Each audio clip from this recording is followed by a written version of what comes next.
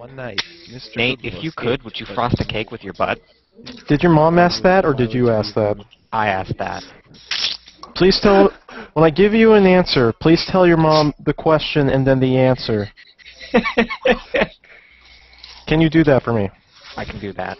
Lemon okay. pie. So the question, the question is, would you would I phrase What is he- frost a cake It's backwards. with my butt? Yes. what is it? I'd frost your butt like a cake. Meet your cousin, the first Alright, so mom, lady, a I asked family. Nate if he would frost a cake with a, his butt, oh and he said he would frost my butt like a cake.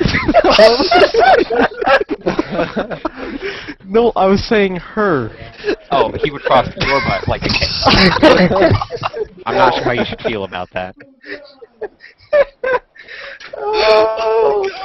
This is why we can't the internet. Hmm? Actually, I think this is why we the internet.